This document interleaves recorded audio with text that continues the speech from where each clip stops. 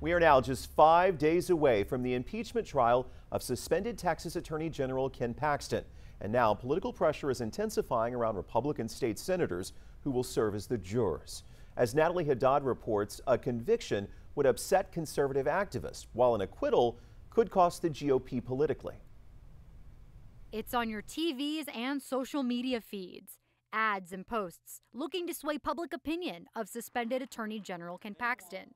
The pressure also intensifying around Republican state senators who face a big decision over one of their own. I think Republican politicians who decide to vote with the Democrats um, are going to be seen by voters as such. Luke Macias is the director of Pro Paxton PAC, Defend Texas Liberty. Ahead of Paxton's impeachment trial, where senators will act as the jury, Macias says voters kept Paxton in office in November 2022 because they like the job he's doing.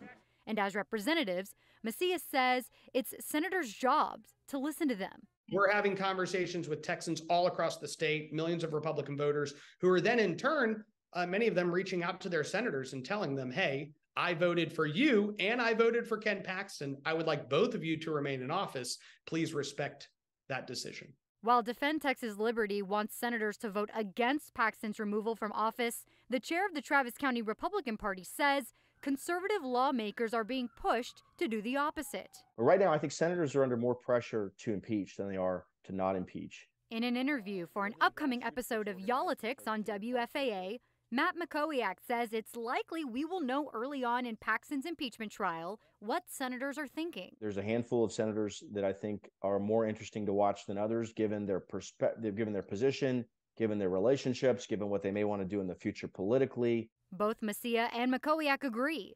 Constituents will be watching their senators closely. In Dallas, I'm Natalie Haddad.